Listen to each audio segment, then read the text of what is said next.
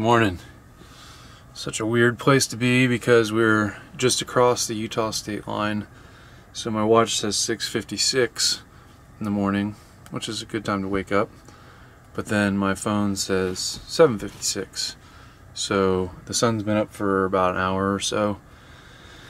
And I don't really know what time it is because we're just across the state line. So anyway, we're gonna go have a great day today. What's going on back there? she getting kisses? Yeah. Puppy kisses. So it doesn't matter what time it is, it just matters that the sun is up. So I'm gonna go take the dog for a walk. Do you wanna go for a walk? She does. And uh, we'll come back and we'll do some work and we'll play today. I'm gonna take the kayak out, I think. We are at Lake Powell on Lone Rock Beach, and we're gonna go take the kayak out.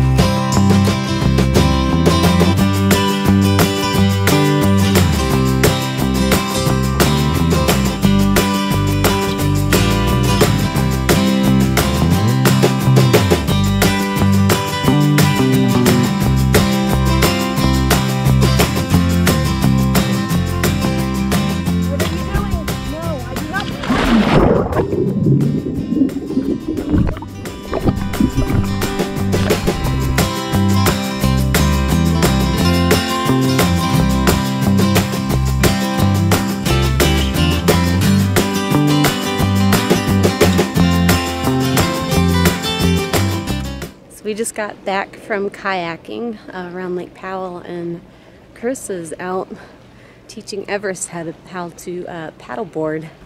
Our neighbor that we made friends with, uh, camping next to us, has a paddleboard, and he just hopped on it.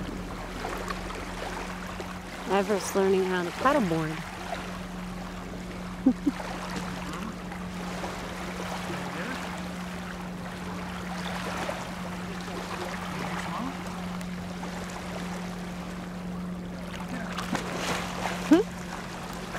Here's uh, someone whose van got stuck in the deep sand over here, and Chris grabbed our traction pads, and we're gonna take them over and try to help get them out. Yeah, he's stuck good.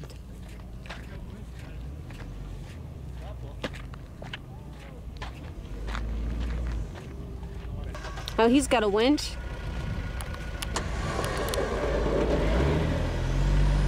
He's in the Jeep.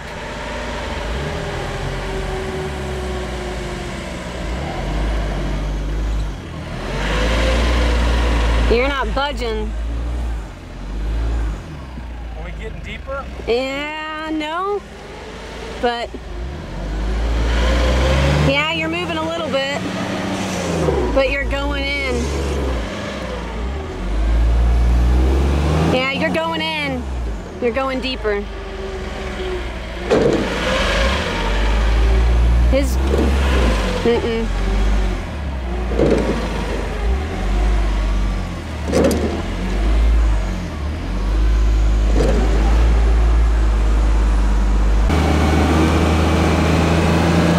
Easy, easy.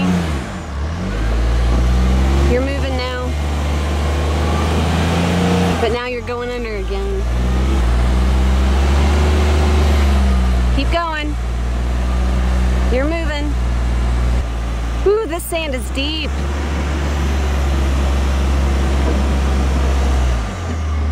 Yep, you're moving.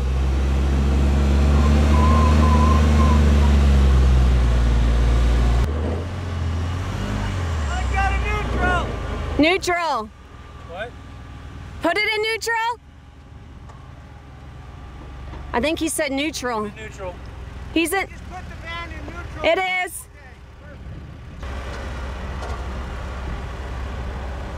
You're out, but it's going to be hard getting it away from here. Got enough to be able to go this way. Yeah. But you're finally on hard. You're not sinking in. Woo! That's deep. Well, that was fun.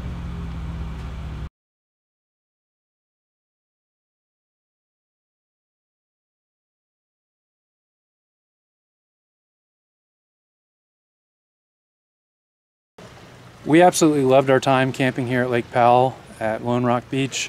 We know you'll enjoy it too. For us, the biggest thing, it wasn't about the beautiful scenery, it wasn't about getting to play with our water toys, splash around with the dog. I mean, it was partly that, but really for us, it was the community that we built while we were here. Uh, we had great friendships that we made with our neighbors all throughout the week that we were here. Four or five different families that we were able to engage with and hang out and just really enjoy life and sharing our story and learning their stories. And so um, it's tough leaving just for that because we've had to say farewell to. Yeah, Quite a it's few really hard leaving. Yeah. It- It's been the last couple days that we've been here. Everybody else were the ones doing the leaving, and we would get sad, and then somebody else showed up, and we went over and started up a conversation and made new friends. And so we really want to encourage you, wherever you are, wherever you camp, to look at life that way. Just Yes. say hello to your neighbor. It's it's a simple thing, and strike up a conversation. They may not speak your language. Doesn't really matter. Just be friendly, and you don't go have you don't have to go out and pull people out of the sand. You don't have to do anything big.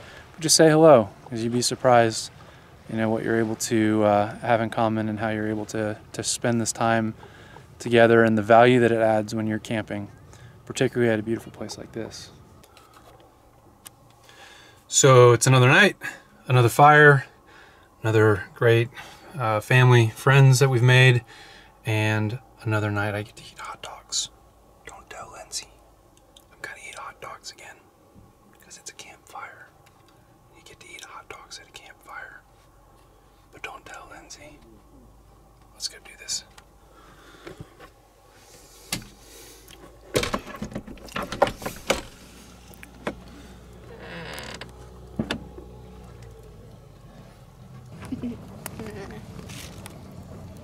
So what does that do? So it's videoing You're now part of YouTube. Really? Um, my favorite part about being here, I think, was definitely uh, meeting the families that we met, and also the kayaking was fun. But uh, I definitely enjoyed uh, the people that we met and got to know. Um, I mean, boondocking in the middle of nowhere by yourself is great sometimes, um, but I think even better, meeting people is just like so much better Yeah. than that. we we believe that life is about relationship and we do enjoy those times where we get to boondock in the middle of nowhere but recently we've had amazing experiences boondocking around other people. Like in the Grand Tetons, we made friends with an amazing view. And we could have been there selfishly and been upset. Oh man, somebody's in this spot. It's the best view of the Grand Tetons. But then we started talking to our neighbor and we found out really cool stuff about them. And we may actually be able to meet up in Baja. So it's one of those things great. like I mean you're right you're right on. Relationship is important and you know, take a couple days to get off into the woods. We do that. We go disappear for a couple days here or there, but know that when you pop back into civilization, there's somebody waiting to talk to you, and you'll never know who they are unless you strike up a conversation. It's definitely not that crow behind me. that crow is not somebody I want to talk to. In fact, if Everest wasn't in the truck right now, I might send her to go on crow removal duty. Yeah.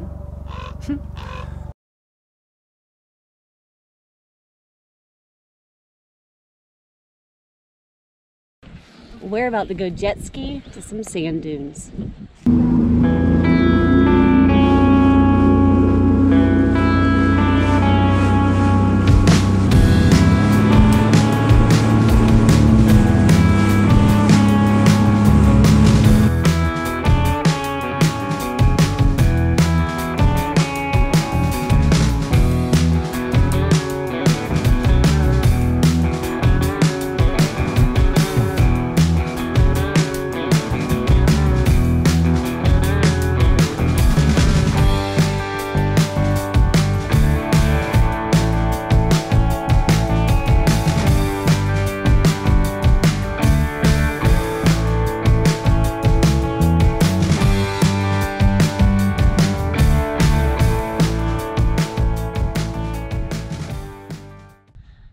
Now we're gonna climb to the top of the sand dune.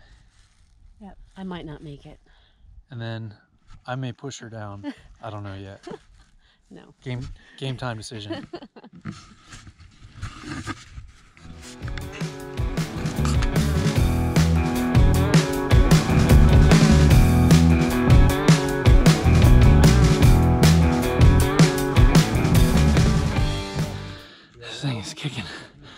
kicking my butt. Poor Lindsay. Don't give up, babe.